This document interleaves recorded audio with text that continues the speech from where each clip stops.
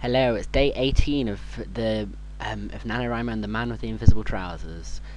Uh, now, today was entirely working on the export feature. No, no not the export feature. The uh, the test level feature of my level editor.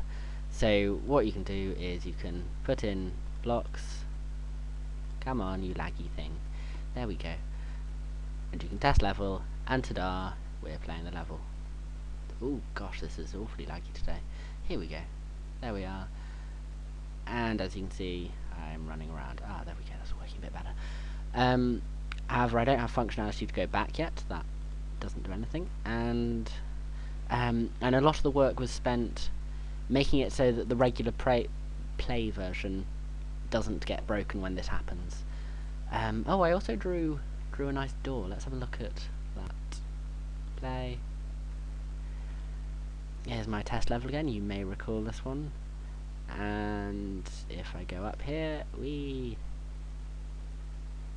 And along here, here we have a door. Oh dear, ah, laggy, laggy, laggy, laggy, oh problem. There we go. Okay, come on, run round, run round. And we can go through the door, and we're somewhere else. This place doesn't have a door. So, level functionality is working, and the export feature is working, but you can't smoothly get back to the level editor. It's not perfect yet, but it, it's it's coming on. It's coming on. Uh, so that's all from me today. I'll see you tomorrow. Bye.